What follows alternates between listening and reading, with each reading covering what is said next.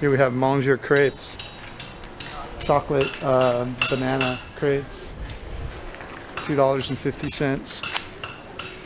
That's what happens when you move into expat areas. I mean, to you, two two dollars and fifty cents probably sounds like a good deal, but you know we've been paying a dollar to a dollar fifty for our meals, dollar seventy on the high end.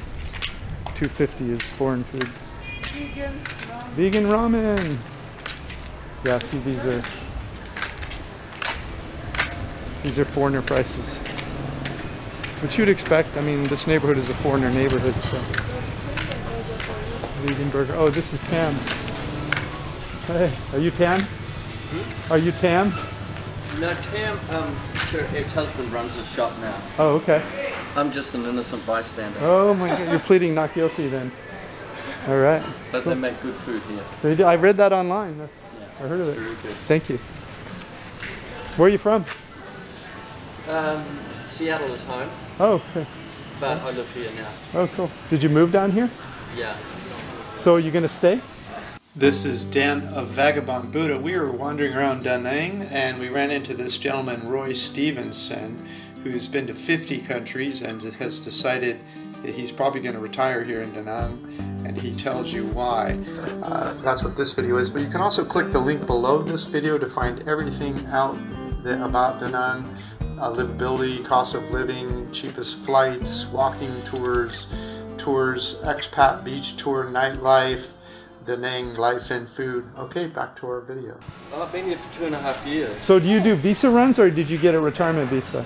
Um, well, we get a 12-month business visa. Oh, it's a one-year A two month business? 12 months. 12 Twelve months. months. Yeah. One year As an. American, right? Yeah. Yeah, right. Cool.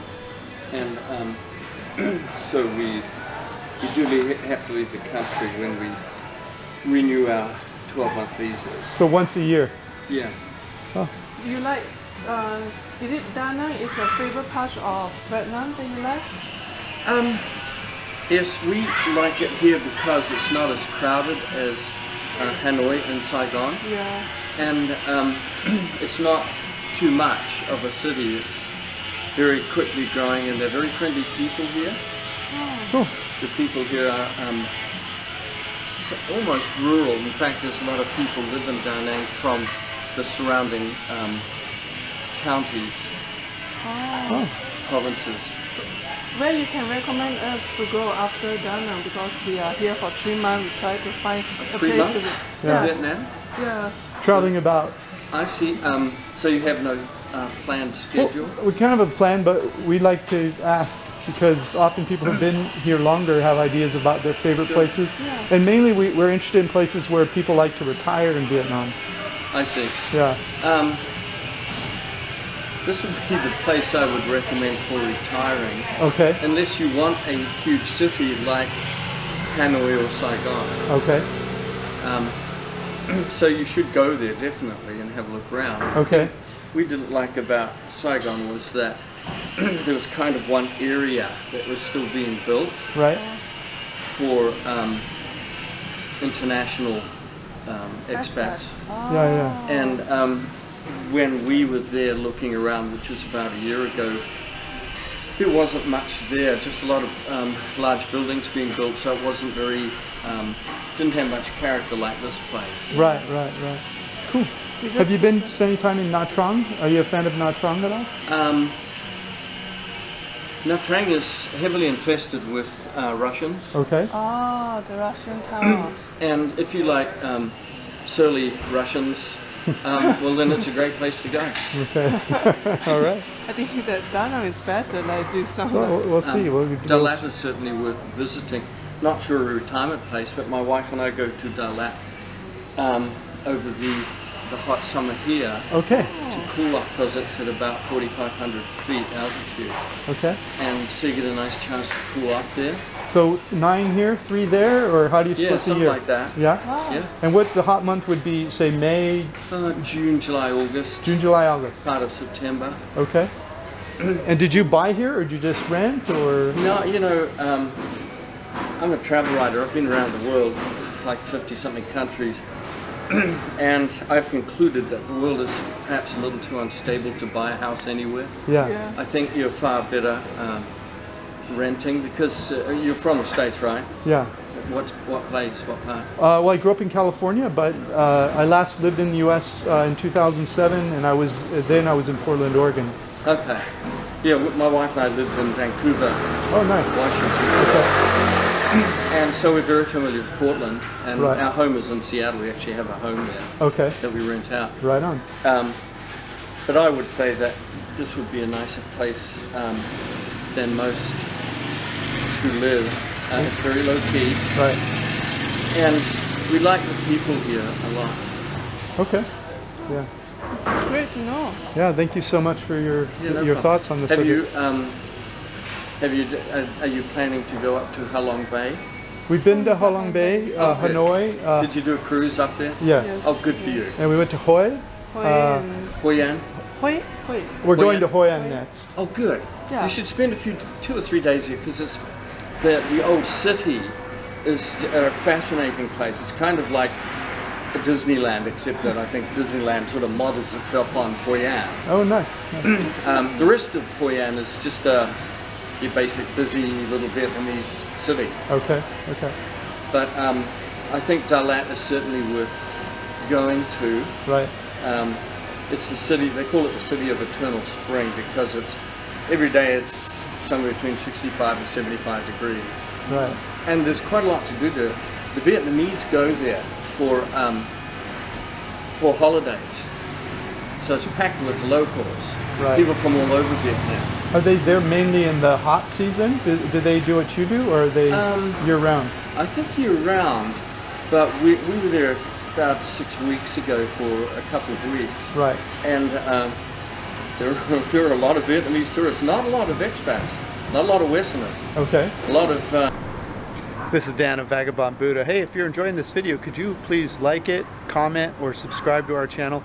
That would really help our business. Thanks a bunch. tour buses passing through for a day or two, Right, full right. of Russians and Chinese, Okay. um, but we saw very few Westerners uh, when we were walking around. Right, right. So do you have a web page that I could promote for you, or are you, are you just Sure, for magazine? um, yeah, um, you asked earlier. Yeah, it's roy-stevenson.com. Roy Dash Yeah, Stevenson, Steven S T E V E S O N. yeah, just like Robert Louis. Okay. So I wish I had his talent.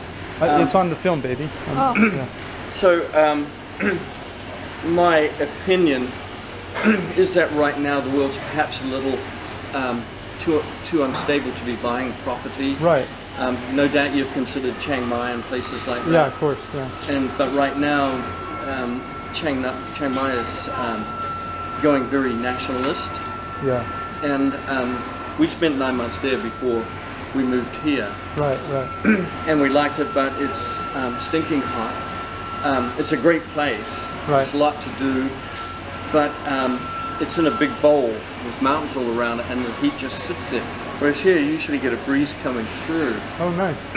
and um, so I just and right now um, we still get the uh, expats um, newsletter from Chiang Mai, Right. and the place is becoming a ghost town because they essentially make it far more difficult to renew visas there. Oh, Yes. yes. Yeah. No, no doubt you know about that. Yeah. I've run into that too. Yeah. You have to fly in now and a number of things. Yeah, I mean we're going there next uh, in a couple of weeks' time, but um, the few friends we have left there are telling us that it's like a ghost town compared with what it used to be. Right. So um, that's a pity, um, but I, you know, that's really is the point I'm trying to make It's about. a, yeah. It's a great point you're making. Yeah, um, I would not buy a house anywhere because right now, with politics, international politics, being as they are, um, you know, it, it, all it would take would be someone like Donald Trump to piss off someone in Vietnam, and they'll, they'll say, uh, "All Americans out." Right. And there know. you are with a house somewhere you can't live. Yeah. Yeah, and, and if you have property, Right. then basically you've just had a huge loss. Yeah, and that's that's just one problem. You could have there could be a devaluation of the of the dong relative to the dollar. It, it could be any of a number of things. Yeah, and yeah, so- not just international politics, but yeah, um, yeah, yeah. so you know, my advice is is to rent Rent, yeah, until you're sure yeah. that this is a place, and, and even then, I'm not sure I'd buy it. So I, I probably even these days wouldn't buy property in Panama or Mexico, which are American outposts. Yeah, yeah. You know, I really, I don't, I'm, I'm the same way. I, I don't I wouldn't I don't think I would buy foreign. Um, I own like you do in the U.S., but I don't see the point because the rent relative to price is still good in the U.S. uh-huh. There are other parts of the world I don't know about here, but where the rents are low compared to what the price is, Right. and so even if you had to rent it and leave, you wouldn't be getting much return on your money. So- Well, there is that, and um, I, you know, rents are pretty darn good. We, my wife and I live in a place just along there, about 200 yards, and um, there are they are catering now for um, middle class or, or more affluent um, expats. yeah, yeah, So they're um, you're seeing some nicer apartments. right. right. Um, I mean, a lot of the, the young kids here, backpackers and, and single people, they'll only pay two, three, four hundred bucks a month for rent. Right. And that's And for like a for like a one bedroom. Yeah, and they're perfectly happy. And that's in this neighborhood. We're all around you, yes. Okay. This An Thuong area is the tourist area. Okay. Well, how much? May I ask how much you and your wife are Yeah, paying? we're paying nine hundred a month. Is that for a two bedroom or? Yeah. Okay. So I have an office, um, and that's considered very, very high for here. Right. Right. Right. but um, you know we can afford it and I'm bringing in an income or we're bringing in income Right. Right. so um, So, so what is your whole? If you don't mind my asking, what's your whole budget for the month?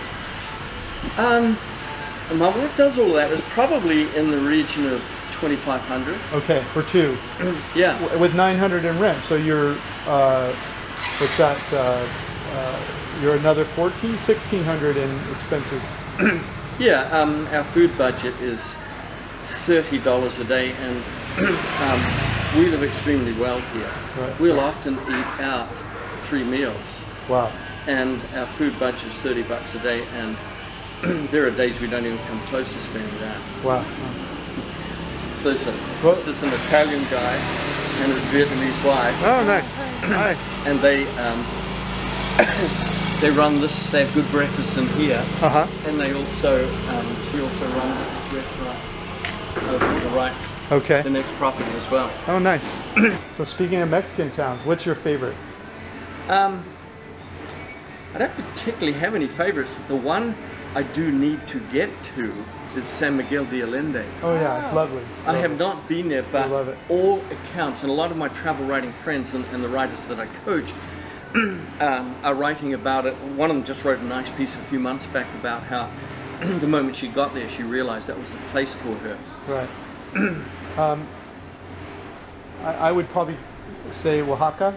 Uh, Yeah. Or Guanajuato, or uh, Guanajuato. Guanajuato, those Yes, two. I mean, I. I love San Miguel Allende, de Allende, but um, it's um, um, I really love Mexico, and, and it feels a little too Americanized for me. Well, yeah. Yeah.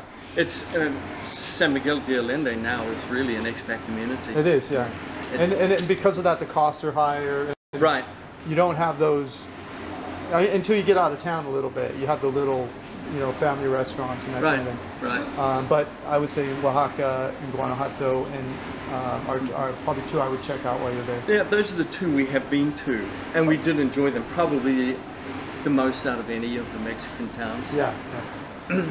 But yeah, it's um, I, my wife and I also um, enjoy spicier food, Yeah, yeah. and um, you know, beans and rice is fun for a couple of weeks in Mexico, but kind of, you know, it's not as exciting as, as curries and, and the. Yeah, Asian food is better. Let's face it. Well, I, yeah, at least it- I think so. It's got I it's mean, I got some love- serious I love Mexican- personality. yeah.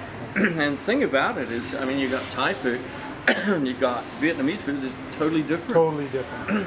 You know, even Cambodia and Laos have got some Yeah. Their own little, you know, special. It's it's way healthier. Let's face it. Well, yeah, the Vietnamese. Um, have you been to the market, This local one here? uh, Cho Bac My An? Uh, no. Oh, it's only it's about 800 meters from here. Yeah. it's about a 10, 15 minute walk. Right. and uh, you go there and you see all the fruit and vegetables and they got you know the butcher ladies and they got the fish ladies and Oh, cool. all that and it's a real local asian market Nice. when my wife and i go there once or twice a week to stock up on fruit and veggies and um, we seldom if ever see any westerners it's all locals Right. Right. so it's a real thing. And stuff is dirt cheap. We get our backpacks and, and carry bags filled with fruit and vegetables. Wow. Sometimes shrimp. We'll buy a kilogram of shrimp, and it's as in jumping around fresh. Yeah. Right. Right. And the whole lot might cost us 15 or 20 bucks if we splurge. Wow. wow. And I, I couldn't even come close to guessing what that would cost in a QFC in Seattle. Oh yeah. You know, it's Crazy. probably, well, I know we got, uh, it comes out at $3 per pound for shrimp here, and they're fresh, and it's something like $18 I was gonna say for $18. frozen shrimp Yeah. in Seattle. Right, And that you don't know how old they are. And why do they need to freeze it? They're right on the ocean. Right, right. so, Well, thanks so much. You've been very quite a Uh, resource. my pleasure. But please, um, if you would, there's a contact on um, my um, travel Will do. on my writer's Will- website. will I have do. another website that I work with travel writers on getting published, Okay. and you can see that access. Um, it's called pitchtravelwrite.com, Okay. and there's a link from my writer's website to that if you want to have a look at that. Right. And and my contact email is is on both of them, I think, Okay. because I'd like to have a look at your. Um, Yeah. do you call it a blog or a website? Uh, it's it's a website. Um, uh, it's both. Yeah. Okay. So. I'll have a look just through just it. vagabond Buddha. But I will email you so that no worries. Yeah, yeah, that'd be a pleasure. Cool. Okay. Nice meeting you. Have a nice day. Good luck. Take care. Oh, that seems like this place is very nice. Yeah, it's a nice place. Yeah, Small world, huh? small world, and that uh, my friend didn't meet uh, any uh, Americans. American, and we met Just one day. one. day. We met one. Yeah. Hey, thanks for watching our video. Come to Vagabond Buddha. Check out our Retire Cheap reports, also our retirement planning, and all the information you need to learn how to retire internationally for less money than it costs at home. Come check us out.